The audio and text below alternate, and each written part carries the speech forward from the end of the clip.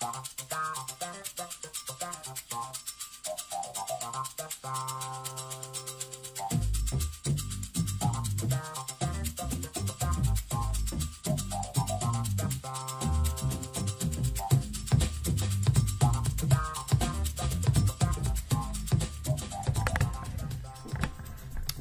there, everyone. Jeff C here. It is uh, Wednesday, November the 27th, and um, going to take a look into Hollywood here. Um, there's a story that probably should be a huge story, but um, is actually just going to be a little story on CNN and other networks. And uh, why it should be a huge story is because it involves espionage, Hollywood, the um, secret spying and the documentation and photographs of nuclear secrets being passed on to a certain state. I'm sure you've heard of this state before.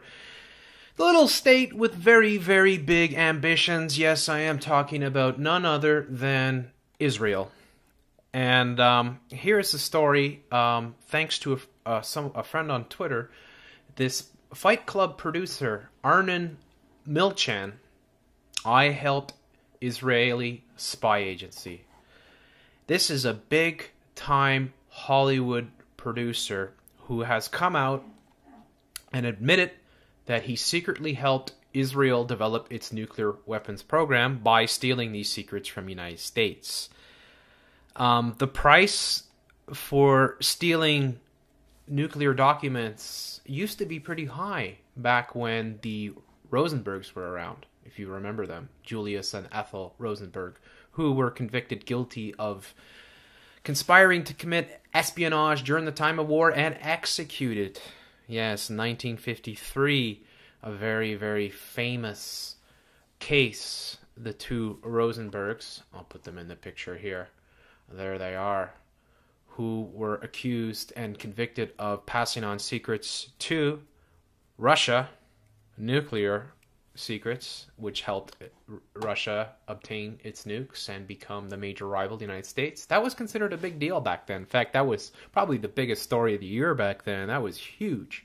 But now, now you get the CNN treatment. So let's watch the CNN sort of coverage of this story, and it's all smiles and chuckles. Justin Timberlake, Vince Vaughn, Brad Pitt, and Angelina Jolie just a few of the stars Hollywood producer Arnon Milchan has rubbed shoulders with. But it's his story that should be made into a movie. The Israeli born businessman behind hits like 12 Years a Slave. I have a business proposition for you. Pretty Woman. Come on, hit before I lose my nerve. And Fight Club says he spent years as an Israeli secret agent and arms dealer. In a stunning interview that aired Monday on an Israeli investigative program, Milchan detailed how he was recruited in the 1960s to Israel's Bureau of Scientific Relations, where he helped gather technology to further Israel's still unacknowledged nuclear program, saying, quote, I did it for my country and I'm proud of it. Milchan moved to Hollywood in the 1970s, but he suggested his efforts on behalf of the Israeli government didn't end completely. Of course not. Milchan indicated other big Hollywood players were also involved, saying, quote, when I came to Hollywood, I detached myself completely from my physical activities to dedicate myself to what I really wanted filmmaking. But sometimes it gets mixed up. No fucking. The 68 year old Milchan owns New Regency Films and has produced more than 120 movies, working closely with directors such as Martin Scorsese and Oliver Stone. He forged an especially close relationship with actor Robert De Niro, who was also featured in the Israeli television program. I did ask him once, we spoke about something, and he told me um, that he was an Israeli and that he and that he, of course, would do these things for his country. So you want to come to Hollywood and act like a big shot without actually doing anything? Yeah. In a story that seems reminiscent to last year's Oscar winning true to life film Argo, that depicted the CIA Hollywood collaboration to rescue U.S. diplomats stuck in Iran, it's a safe bet Hollywood execs will be fighting to bring this story to the big screen, too. Now, we reached out to Milchan today for comment, Jim, but we were told he is traveling in Europe and unavailable. You, you know, I have been covering all things Hollywood for a while, Jim, and not much surprises me that goes on there these days, but this, This is a wow story. This is, and it's too bad he's unavailable. When he is available, he should come on the Situation Room and tell his story to Wolf Blitzer. I'll pay I money love to it. see Put it out there, baby. Well, We'll get wonderful. him. Sounds good. All right, Michelle, thank you. Wonderful. They're gonna bring him on the Situation Room so he can go with another Zionist and spew some more bullshit. This is hilarious. I mean, it's sad and it's hilarious at the same time. As I said, the Rosenbergs were executed, and most pe- most people were outraged at the fact that they had been, well, we'll go by what what the history tells us that they actually stole these secrets and passed them on to the Russians, who were able to obtain their nuclear weapons. So this dude is is directly responsible for Israel becoming nuclear. Perhaps though that was always part of the plan with Israel. So perhaps the nudge nudge wink wink passing of of uh, secrets and documents might have been allowed considering this incredibly cozy relationship that Hollywood has with the powers that be, especially the um, White House and the military. And I've talked about that a lot before in the past. And and it, there, anybody who knows anything about Hollywood knows that it is run by Jewish interest by and large, and therefore Jewish films and Jewish filmmakers. Uh, you know, whether you're Steven Spielberg or or uh, any one of these other massive, uh, powerful um, producers, Weinstein's. There's so many, right? And that is the reality. Is that um, Hollywood really is just another f- arm of the government. It it really is. It's the propaganda wing. And uh, these movies, it's funny they they refer to True to Life Argo, which is uh, pretty much bullshit.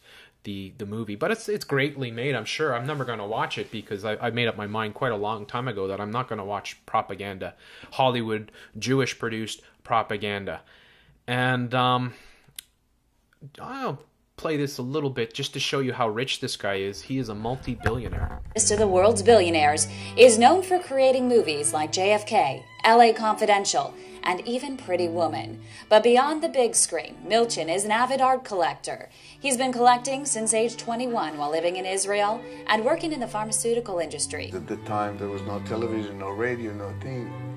Politics and art and, and communication and media was all in art. Milchan's passion for art began with books, fascinated by stories about artists who would give their life for the canvas. Whether it's somebody cut his ear like Van Gogh or somebody would just paint to get a meal. This is a 1914 landscape uh, by Egon Schiele. It's called Autumn Sun. Certainly one of the most important pictures in the collection. Uh, it's certainly uh, the one that uh, emptied his wallet the most, to the tune of, well, certainly eight figures. Chris Eykyn, former head of the Impressionist and Modern Art Department at Christie's New York, manages Milchan's collection, which is worth upwards of $600 million, with paintings from artists like Gauguin and Pissarro to Picasso, Francis Bacon, and Basquiat. I can Yeah, I'm going to quote uh, Indiana Jones here. Those pieces of art belong in a museum and not in some trader's palace.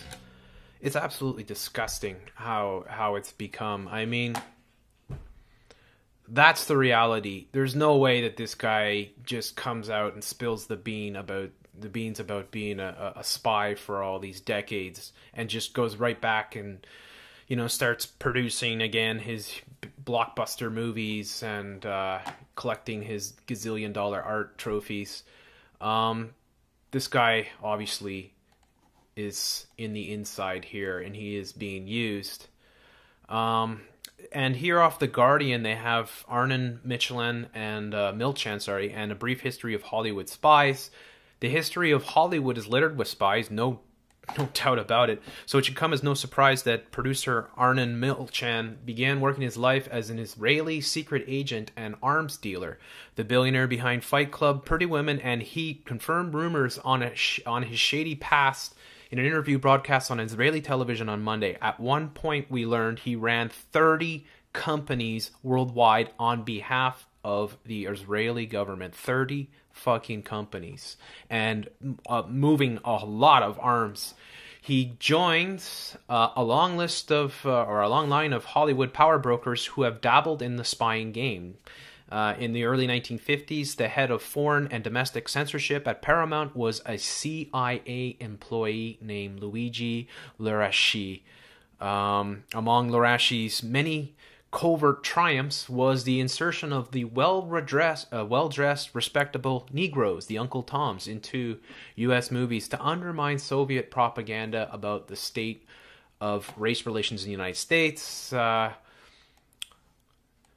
Luraraschi um, certainly wasn't working alone. In 1950, the CIA bought the film rights to George Orwell's Animal Farm and funded the 1954 animated version, ensuring that the book the book's message was portrayed as strictly anti-Soviet. Likewise, in 1958 uh, film of Graham Greene's The Quiet American revised the story of the novel on the advice of the CIA, portraying the morally morally dubious uh, titular uh, character as an am- unambiguous hero. The author himself, a spy for MI6, disowned the abda- adaptation, pardon me, calling it a propaganda film for America. And what comes out of Hollywood that isn't propaganda? I don't know. I'm giving up completely on Hollywood. I don't watch any of these blockbusters. I don't give a flying fuck. It's all programming.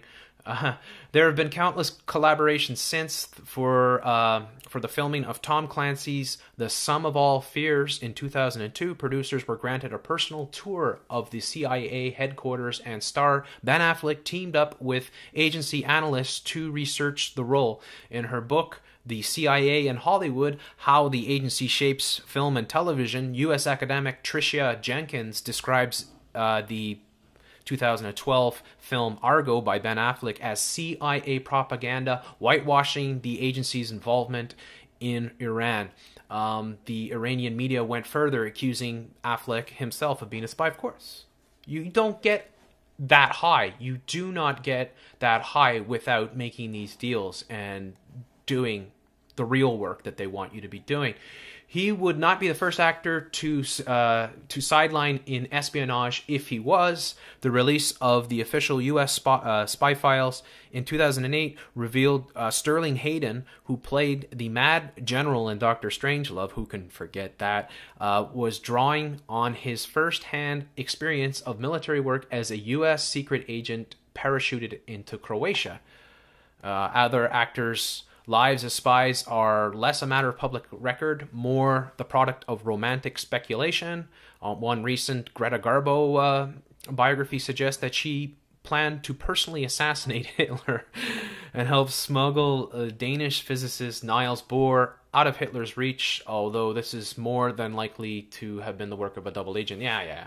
So, you know, some of these people want to claim credit for for um, tall feats but this is the reality. Um, this dude is a major player in Hollywood, as most most Jews are that are high up in Hollywood. They have an unbelievable amount of power and money, and um, they're there to program people. And if you look at these movies, you can see like these all these movies that he's producer. These are massive movies for the most part. These are are big Hollywood blockbusters, the kind of movies I never watch. I just can't handle them. I just I smell the bullshit from miles away, you know. But that's it. I mean that you can see Daredevil. That's where he'd be close with um, CIA Affleck, and these people are you know they're worshipped in Hollywood.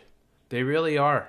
And this guy, he's all smiles, right? He's all smiles and chuckles, doesn't think anything's going to happen to him. Of course, what is going to happen to him? Why is it a big deal when other people steal secrets? I mean, usually it's the harshest, it's the biggest thing that you could possibly do against your country is to spy on it, you know? And this guy, he doesn't give a flying fuck about United States. He's there for Israel. And then you're going to have to wonder where all these guys what their their what their real mission is, what their real roles are. But it's just another example of the unending stream of bullshit that comes out of Hollywood. This guy should be hung for being um, a spy. He should be hung. And that's the reality. Fuck him.